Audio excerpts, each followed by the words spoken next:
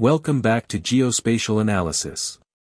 In today's tutorial, we'll visualize and downscale rainfall data for Oromia region in Ethiopia using the CHIRPS dataset inside Google Earth Engine.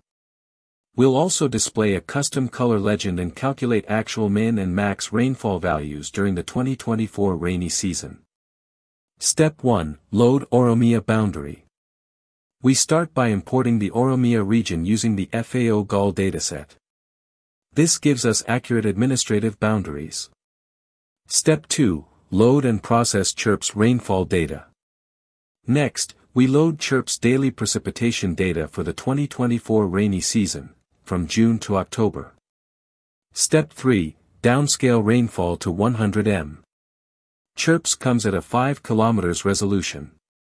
We use a Sentinel-2 image to resample and downscale this data to 100 meters.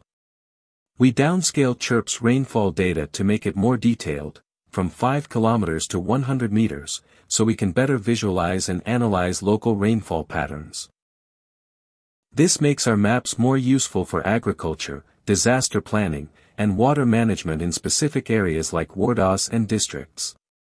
Step 4. Calculate actual min slash max values.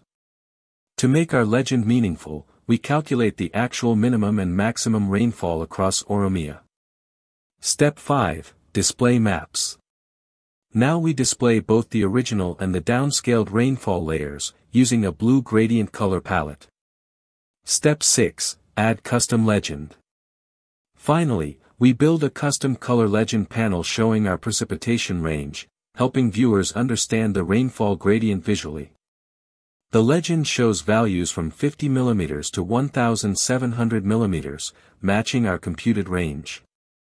Advantages of downscaling CHIRPS precipitation data. 1. Better local interpretation.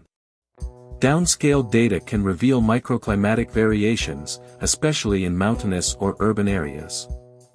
Useful for agricultural planning, water resource management, and disaster risk assessment at the Woreda or Kebele level.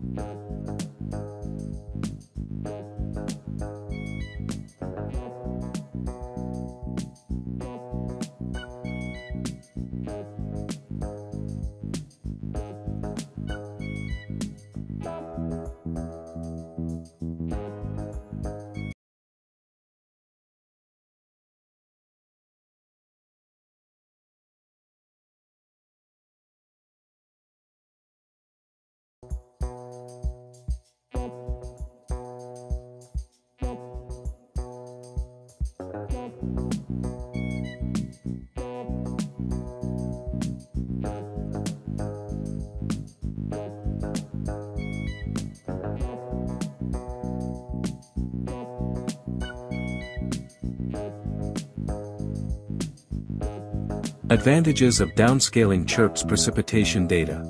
1. Better local interpretation.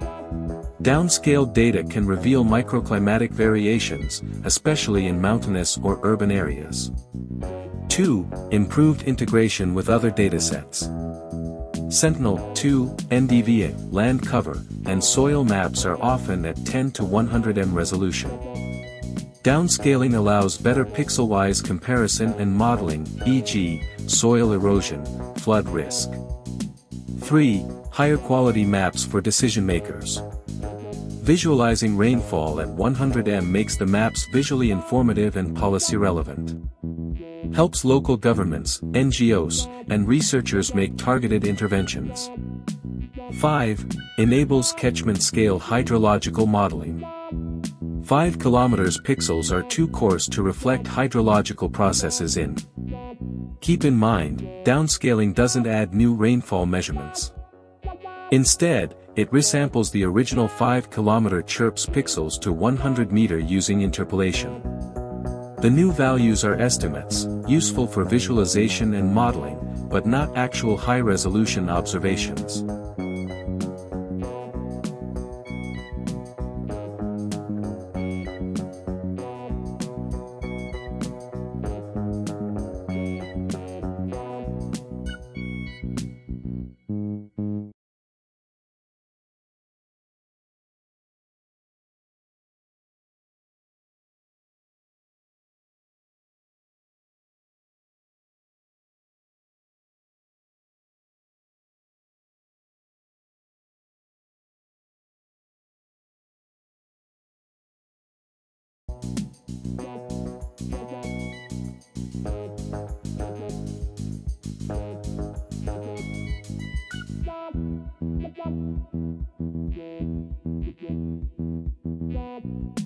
Thank